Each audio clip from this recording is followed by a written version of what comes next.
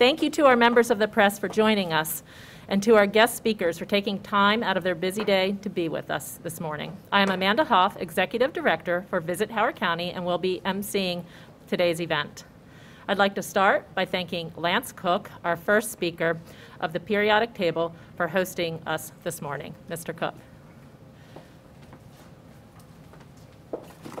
Thank you, everybody. Uh, my name is Lance Cook. I'm the owner of uh, the Periodic Table and uh, Tino's Italian Bistro here in Howard County. Uh, I'd like to start off by actually personally thanking Dr. Ball and Larry from the EDA for uh, getting me up early the day after Mother's Day Madness. Really appreciate it. A week ago, before Allie called me, I had this uh, vision of laying in bed all day and doing nothing but drinking pina coladas, but no, I'm back at work. Thank you. Um, just a short few seconds of uh, what's going on in the restaurants, especially in Howard County. 2020 was just was disastrous. It was really hard, but we made it through. Most of us all made it through. Uh, 2021, you know, the trends are looking up. We're, uh, we're really excited about the future. Um, we're really excited that people are starting to feel a little bit more secure in going out. People are getting vaccinated. My wife, uh, my beautiful wife and I are vaccinated. Um, most of our staff are as well.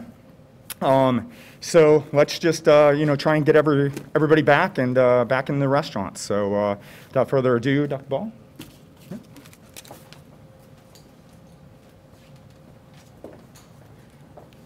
Thank you, Lance. Good early morning to you and everyone else, and thank you so much for joining us here at the periodic table in Columbia.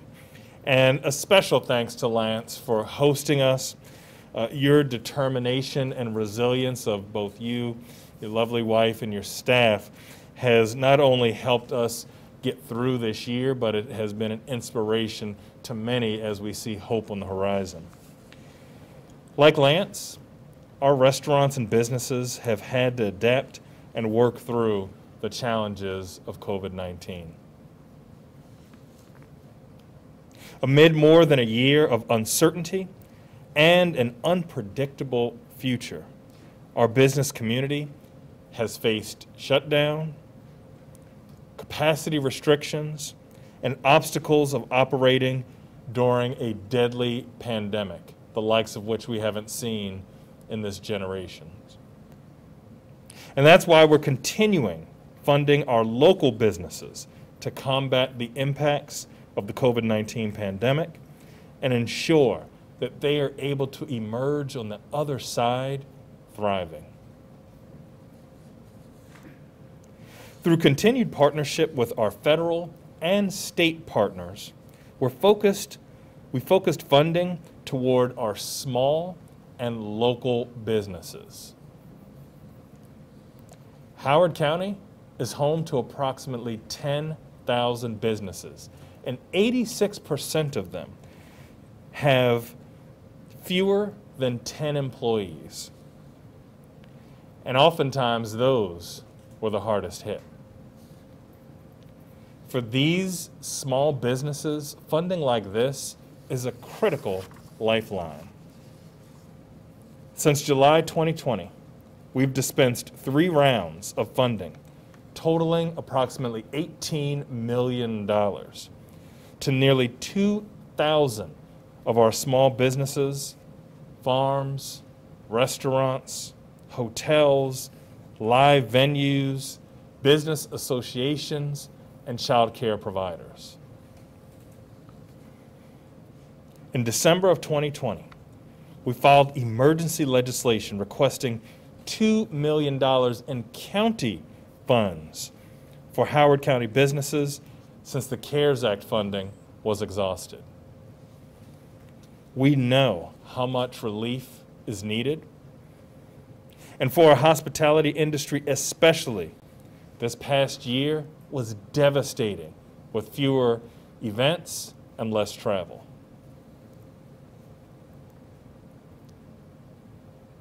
But as more and more people are vaccinated, we're hopeful for our restaurants and hospitality industry as they continue on the road to recovery and we're here to help make that vision a reality.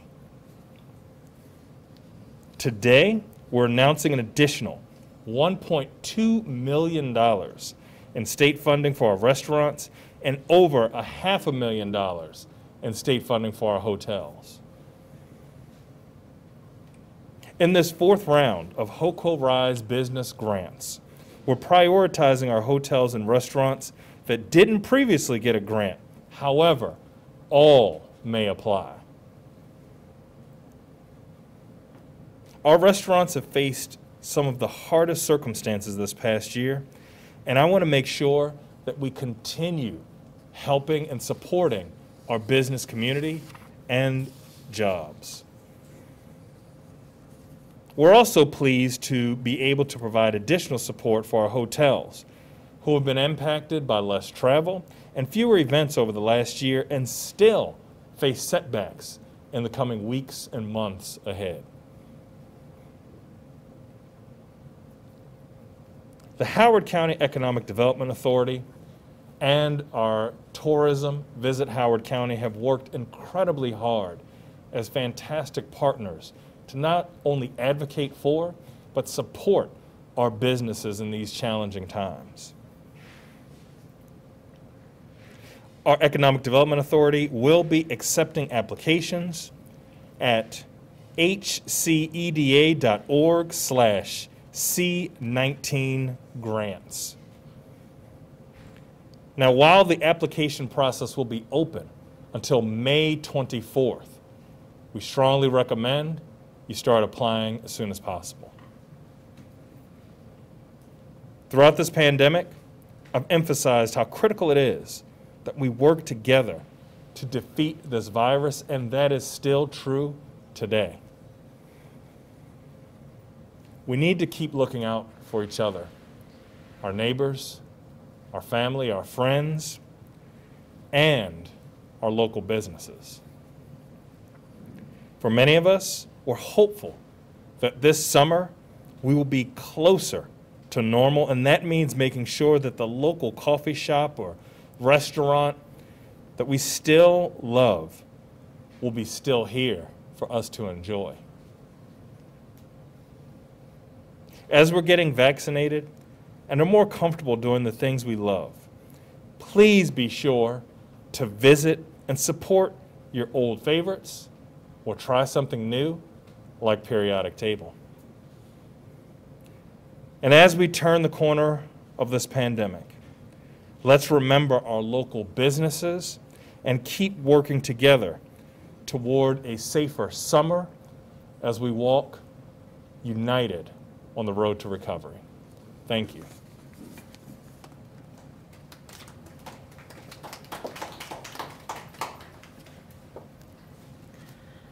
Thank you, Dr. Ball. I'd like to thank Howard County Executive Ball for his tireless work to keep our community safe while supporting residents and businesses throughout the pandemic. On behalf of Howard County's hospitality community, thank you, Executive Ball, for, your, for this support as well as your support of Visit Howard County so we may continue to do the work to assist these businesses through the recovery by connecting them to the resources they need and marketing them to the customers that are key to their long-term sustainability. At this time, I invite Larry Twele, CEO of Howard County Economic Development Authority, for his remarks. Thank you, Amanda, and thank you, Dr. Ball. Well, when we began this, uh, this grant process almost a year ago, we certainly didn't think we'd be doing four rounds of this. But, you know, it is, uh, it is important to, I think, recognize that we are doing another round of grants, you know, through the support of the county executive because of the continued support. While things are looking up, it's certainly uh, no time to put our guard down and, you know, relax on our support. So Thank you, Dr. Ball, for your continued efforts and support. Howard County Economic Development Authority is very pleased to be part of the team, uh, along with tourism and the folks back at the county supporting our supporting our local our local businesses. You know, while many of our uh, you know some some restaurants, it has been, as Dr. Ball said, a very difficult time for our restaurants and hotels. Uh, some have been severely impacted, but an overwhelming majority of the restaurants and hotels have have survived and made it this far thanks on part for the, you know, support of the county executive and our, our partnership with Visit Howard County. But importantly, it's the uh, community that has supported the restaurants as well and continued to, you know, figure out ways of supporting the restaurants through takeout and, you know, uh, curbside delivery. And please continue to do that while we move into the summer and everybody's anxious to travel. Please don't forget about your local restaurants. And particularly, you know, I wanted to recognize uh, the bold entrepreneurship of uh, folks like Lance and, you know, opening during what, you know, seems to be probably one of the worst markets for restaurants, being bold enough to continue to open. Uh, we recently announced a new restaurant down in Savage Mill as well. So hats off to the bold entrepreneurs who have struggled, survived, and even taken bold steps to open. And, you know, my message is to the community, please continue to support these, these important parts of our business community. Thank you. Thank you, Mr. Twele.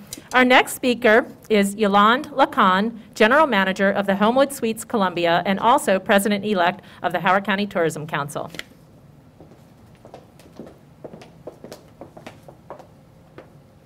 Good morning. Thank you all. Um, I, I visit you today as an operator, not an owner, who's been entrusted with a large facility here in the county during a time that's been strange at best.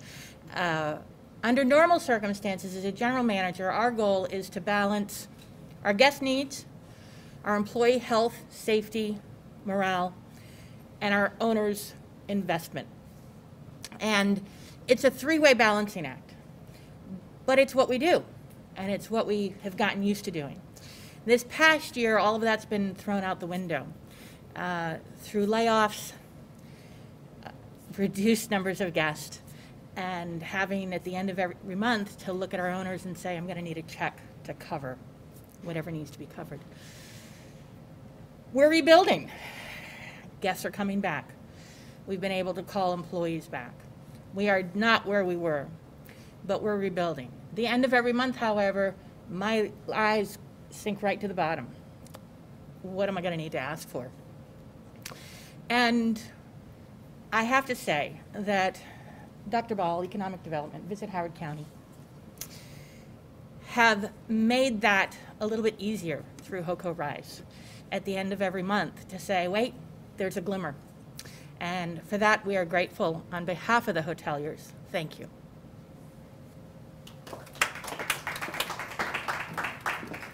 Thank you, Ms. Lacan.